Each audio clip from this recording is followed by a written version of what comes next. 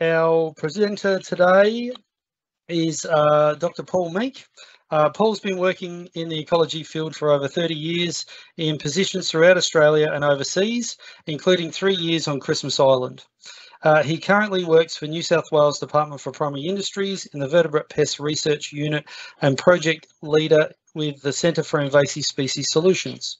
Uh, Paul completed his undergraduate degree at Roseworthy in South Australia, a master's degree on the biology and ecology of foxes, free-roaming dogs and cats in Jervis Bay at University of Canberra, and completed his PhD at the University of New England on camera trapping. He was awarded the Chancellor's Postdoctoral Research Award for his PhD research. He holds a position as an adjunct lecturer with the University of New England, University of Sydney, and an adjunct senior fellow at the University of Queensland. Primary work roles are research and development, contributing to pest management policy that integrates new research findings into control and monitoring. His focus is on research that benefits pest management and impact monitoring and developing best practice. Areas of expertise include camera trapping, predator trapping, small mammal trapping, radio tracking, fox, wild dog and feral cat ecology, uh, Hastings River mouse and Christmas Island shrew ecology and inland rodent eradication. Uh, Paul is also a fellow of the Winston Churchill Memorial Trust. Western Tracks is a um, stakeholder driven program that is uh, centred around Western New South Wales, um, clustered between Bourke, Wanaaring, White Cliffs, Wilcannia, Louth, Cobar area. Um, lots of, uh, of people are involved in, in the project. You can see the organisations, ourselves and Local Land Services, New South Wales Farmers, um, University of New England and National Parks and Wildlife Service. Um, a lot of people in our team, um, some of our staff over here. The important one for me is to identify this committee here, the Western Tracks Advisory Committee, um, led by Leon Zanker, who is a farmer from um, that northern part of, um, of our study area up near uh, Wanaaring, and Ben and Stuart. We have national parks. We have Bruce Duncan from New South Wales Farmers.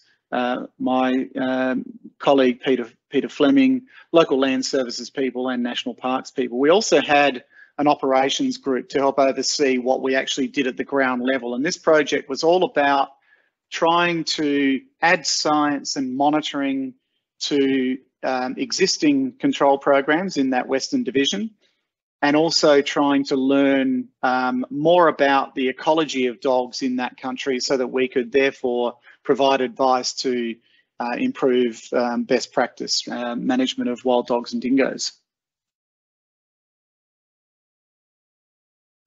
Um, noteworthy are these two characters here, uh, two of my staff. Uh, they're the two people, uh, Lucy and Dean, who spend most of their time out west servicing cameras at the moment. So there's several aspects to this project uh, that I'll go through in a little bit more detail. So we've chosen camera trapping as the means of monitoring dog populations and as it turns out, feral cats and other species. But our primary species of interest is, um, is wild dogs and dingoes. So we're using camera traps on 60 kilometre transects spaced at two kilometres each. We have 30 of those per site and I'll show you a little bit more about uh, how we've deployed those uh, soon.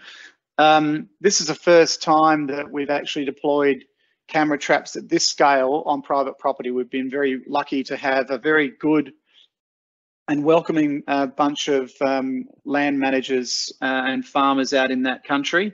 And uh, for the first time ever, two transects, one at Wanaaring and one at the Louth area across uh, private property only. And then we have two other sites um, on two national parks, Nocoleche and Paroo Darling, which are New South Wales National Parks estate. Um, this project was funded um, by Western Local Land Services, New South Wales DPIE and uh, the federal government. Uh, this money has now ended, so we're, we're, we're now trying to find ways to keep this project and others going. As we said, the main target for us uh, with the monitoring using camera traps is dogs, but we do also pick up lots of cats. And we're also interested in biodiversity. Of interest with the weather patterns we've had in recent times, we've all become waterbird experts. These are our um, camera trap roads and trails, which is where we focus all of our effort on trails, um, turned into wetlands as a result of the Paroo um, flooding. So just a bit of an idea of uh, the properties. You can see Wanaaring up the top there, up here. Uh, White Cliffs is out here, Tilpa and Louth. Uh, Bourke is up over this side over here. So these are the four properties. This is private property here, private property here, um, sorry, national parks here and private property in national park. We've been fortunate to uh, put cameras out across a couple of different properties in this area. So we've covered some fair country. As you can see down here, there's a, a two kilometre bar. These are up 60 kilometres of transect, as I alluded to previously. Often when we put our cam camera traps um, um, into into the field, we um, we try to do it in such a way that we can service the cameras fairly um, accessibly by road. Dogs, foxes, and cats all use roads. We know that's the uh, the mechanism that they use for getting around their country. Um, so all of our cameras are actually on on service roads, which makes it easy for us to service. We can get around these four sites. It's a day to get there from where we all are in the Armidale Coffs area. Um, and we can then service all of those sites in a sort of three, four day period.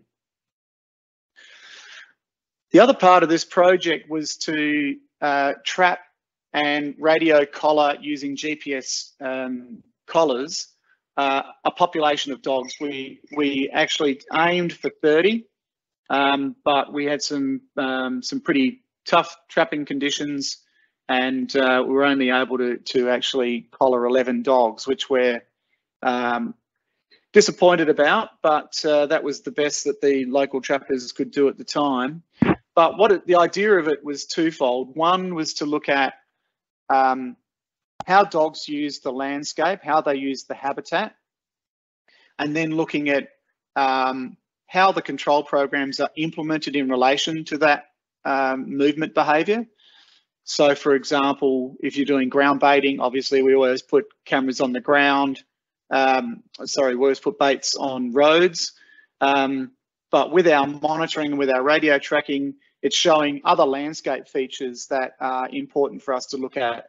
And this was one of the aspects of the project was to use the radio collaring data with um, high fixes. So we were taking 15 minute fixes to get uh, the passage and the route of the dog as well.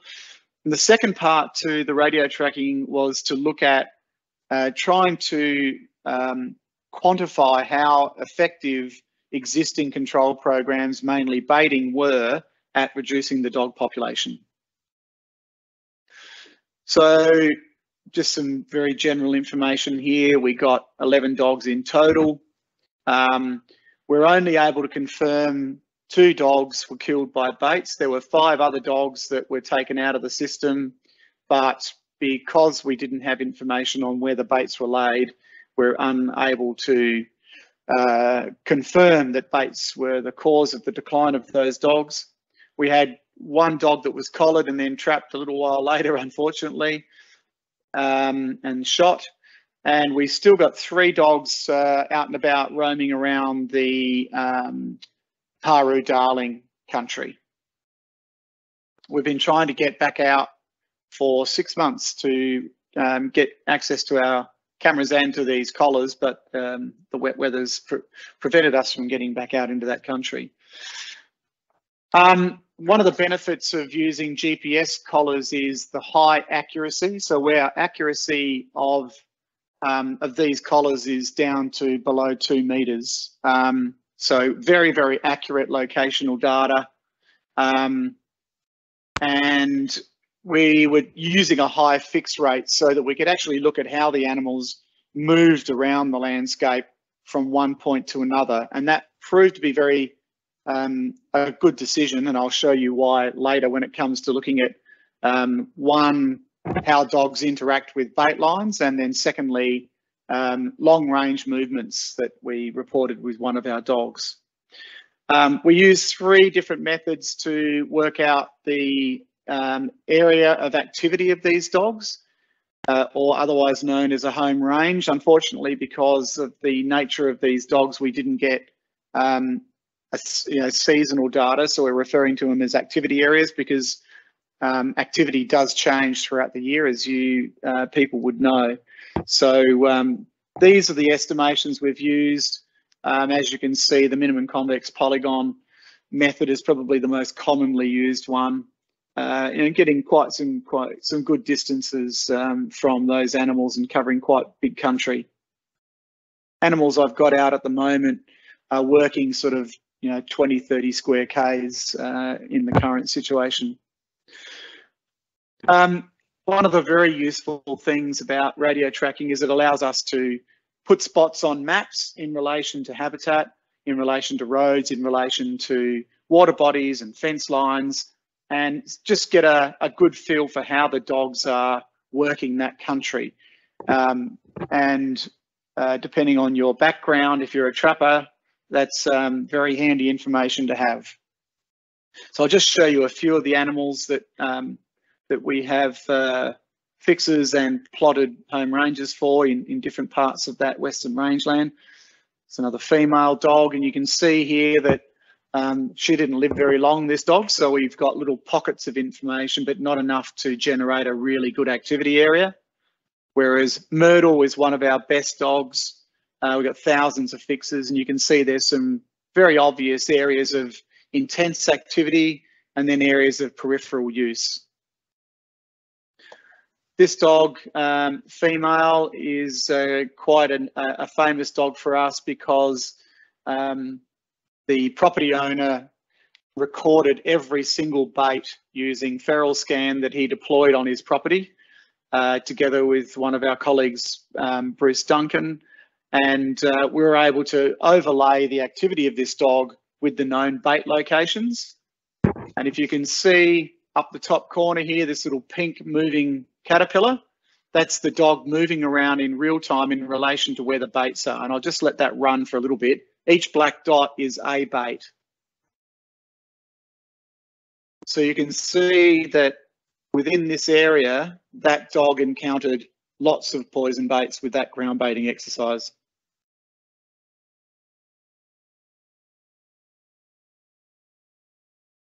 This ended up being a very powerful tool when we were talking to um, property managers uh, in our project and demonstrating the value of putting a little bit more effort into recording exactly where baits go and also having researchers doing camera monitoring and radio tracking at the same time. And uh, I think it's a, a great uh, video clip to um, to emphasise the importance of, of trying to record information as we're doing these programs so we can quantify our success. Now, a really interesting dog for us was um, Logan, which was uh, trapped over in the same area. So up in this top right-hand corner here is the Peery Lakes area. Uh, White Cliffs is just over here somewhere. This dog was overlapping uh, its activity with um, a couple of the other dogs that I've just shown you and then one day decided it was going to go for a hike. And we followed this dog constantly working its way through the landscape. Um, it's a little bit difficult for me to show you without going live onto the website. But um, this dog uh, travelled in the space of uh, a month or so over 600 Ks um, going through private properties, hitting fences and getting caught up on fences and then moving, getting caught up on fences, then moving, getting caught up on fences, uh, going through Moot National Park, and then finally working its way up to the South Australian border until it got caught by the extension of the old and new dingo fence. So this green marker here is um, the old and the new dingo fence. And so this dog got caught up in that corner and stayed in here for quite some time until um, uh, the property owner from uh, from the farm up in this top corner, decided to go out and bait, having seen footprints down in this bottom corner here on his fence line. So this is his fence line here. Um, these, as you can see, are bait lines from the 16th of June, 17th of June, and the 22nd of June. Um, and it wasn't, these baits were deployed for about a month before Logan actually encountered a bait. And we think based on this green line here, this is where uh, Logan actually encountered baits. And it was a shame that Dean uh, from Mully can't uh, be online because I was hoping to show him this map, which I, I will do some other time. But interestingly, this dog just kept working the fence line, but wasn't really spending too much time on the track. But it was just lucky that we clipped it up in this corner and the dog took a bait. Um, otherwise, uh, this dog would probably still be alive. Um, obviously, a researcher's nightmare that he found the um, the dingo fence because it would have been lovely to see him turn up in the Flinders Ranges or somewhere like that. There's an incredible amount of movement. We do get these very long uh, movements. We've had uh, dogs do a lot longer distances than that in New South Wales and Queensland, but this is a particularly interesting one, particularly since it got caught on the dog fence. So some of the some of the obstacles that we faced in in this project, uh, the most problematic one was we just couldn't get enough dogs caught out in that country. We had collars for 30, ended up with 11. Two of those, the data was so poor that there's very little information we can extract from it. Um, but we are doing our best. Um, we're hoping to collar more dogs up in that country over the next few years. Um, we did have some uh, deliberate baiting of dogs after a presentation, which was a bit unfortunate by a couple of um, property owners uh, who went out and tried to target um, some dogs when we told them that we had, had the animals were occupying part of their country, which is an agreement that that we make. Um, and most of the agreements we make um, are that you know if dogs are causing an impact, well then you know you've got to go about core business. We don't ask people not to uh, bait dogs, but these were deliberately targeted, which is a bit unfortunate. So it cut down our baiting, our, uh, our uh, radio tracking data a little bit. Flooding was our biggest issue. Um, we've just been kept out of that country, uh, which is great for local cockies, but not good for, for us in collecting enough information to feed back to them. And one of the big downsides for us, this character over here on the left, Bruce Duncan, the wild dog facilitator, his project um, funding ended, which was a bit of a shame because he was instrumental in, in uh, facilitating this project. So where do we go from here? We've still got three collars that we've got to um, collect when the uh, floodwaters drop. We've got a lot more analysis to do on the dog activity to look at correlations between their points, their movement, fences, creek lines, just to see whether we can tease out anything else um, about the nuances and the small, you know, minutia movement of, of dogs in that landscape, so we can feed that back to uh, property managers for improving their trapping and, and uh, baiting. Um, we've collated uh, probably the best control data ever collected in Western New South Wales. We've got a uh, a collection of all the ground baiting and aerial baiting and some of the trapping data from 2017 through to the current day. So we're, we're at the moment mapping that information on uh, GIS so that we can actually look at the intensity of effort, control effort to um, control dogs in right across the study side of that western area. Um, we've got a little trial going on at the moment using uh, quick capture, which is very similar to feral dog scan. And it, enables um, private property owners to record every location that they put ground bait down on their property and then uh, that information can be transferred back to us. So we still have three dogs out and we're hoping that um, with this information we'll be able to look at what happens to them over time in relation to where the baits were on the ground. And we're still continuing with our uh, DNA analysis of the dogs out in that country.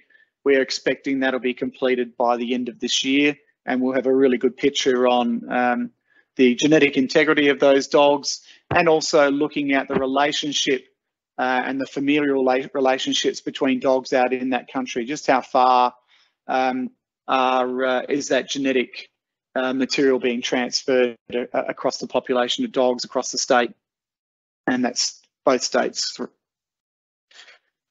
Um, an extension side of our project uh, is facilitated by Local Land Services. We have a, a, website.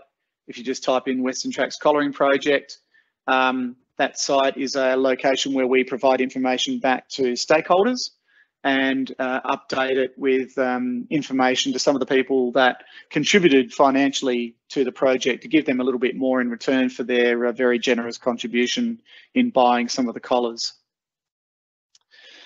Um, the future is looking very bleak for us, a um, bit of a crystal ball job. We had hoped that we would get um, funding through the Centre for Invasive Species again for continuing this project and also extending it to the Culgoa Floodplain National Park in northern New South Wales on the Queensland border so that we could look at um, changes to the extension of the dingo fence and see how that affected dogs, cats, and biodiversity. But we've been unsuccessful so far in obtaining that funding, and uh, we're in uh, working with uh, the Centre for Invasive Species Solutions at the moment to try and see whether there's ways around uh, getting some funding so that we can continue this very important work. It's a very frustrating situation out there where um, the majority of the land managers, property owners, the cockies, um, want us in this landscape continuing to work on this project, um, but we just can't find the funding to do it. So uh, that's a, a, bit of a barrier. Um, so that's the uh, the end of the Western Tracks presentation. One I was interested in there earlier in the first part. I think the dog was called Myrtle, where it went backwards and forwards over bait stations. So I'm presuming it took none of those bait stations? Yeah, um, it's one of the one of the difficult things for us to do in such a remote part, as you know, being in a remote part of the country, is ideally the moment that that dog dies, I get an alert. So if it stays stationary for 24 hours, a message comes to me saying, um, you've got a mortality and here's the exact location and then we need to go out and pick that dog up and gut it and take out what's in its stomach. Unfortunately, out in yeah. that area, that's as you know, um, 24 hours and the dog's blown. So we we I can't uh, really answer that one very well, Mark. But what I would say is um, the dog I think you're referring to is Vivi, which was the little caterp- purple caterpillar walking over those black dots. Um, it would have I'm assume take several baits. And I thought I think the same with Logan when it went into South Australia, it would have taken several baits. But because we don't know exactly where the baits were at Mullunningany, we uh, we, we can't really tell. Yeah. So I'm doing bait runs now as we speak at present, but I've I've gone from your normal active dried meat baits and I've been using the CPs. And I've probably oh, done yeah. them on my six week on my six week now, and I've probably got two that I can guarantee are wild dogs taken. The rest mm-hmm. may be foxes, but with that CP, we know it's gone straight into his mouth, and it should be nearly a ninety nine point nine percent kill. But the bait, the other baits, um, they sort of say, yeah, wild dog, big dog won't take it, the old dog won't. Maybe you might get a young pup. So no one sort of knows. That's a um, there's dog walks past it. Are they taking them? Aren't they taking them? We go around tomorrow and it's been taken, like 10 are taken, but, you know, nine times out of 10 it's taken them. Mm-hmm. We, um, I mean, a lot of the work that we've done here in New South Wales with aerial baiting um, has shown that depending on the bait rate, um, the first target is foxes. So when we do an aerial baiting run, foxes go through and knock off a large part of the baits that are on the ground. Um, then the dogs come along and, and pick up the baits. Obviously, fox got a smaller home range. Um, dogs take a lot longer to encounter a bait because they've got a bigger home range. Um, but there is no doubt that if you do the right bait rate, you will get greater than 90% knockdown in in the population. um, that's why we're advocating in our part of the world that um, 40 baits per K in aerial baiting uh, programs is the way to go because it gets foxes and it also picks up the dogs as well. As for aversion, uh, Mark, I think we you know we we have the same thing with with traps as well, don't we? You know, those some dogs that you just can't seem to get to put a, a, a foot on the on the plate. But um, I think there's there's um, obviously going to be some dogs that um, aren't so keen on picking up baits, um, and it depends on the bait. I took um, DOGGONE baits out to um, the Cooper Basin with me, and threw them at a dog in it. Played it, played with it like it was a toy. Didn't even realise it was food, and then went and dumped it in a Spinifex tussock. Um, but if I did that with a dried meat bait, that would never happen. They would have gulped it down straight away. So yeah, there's all these different um, variables and individuals and their behaviours. It's all part of the part of the challenge, I think.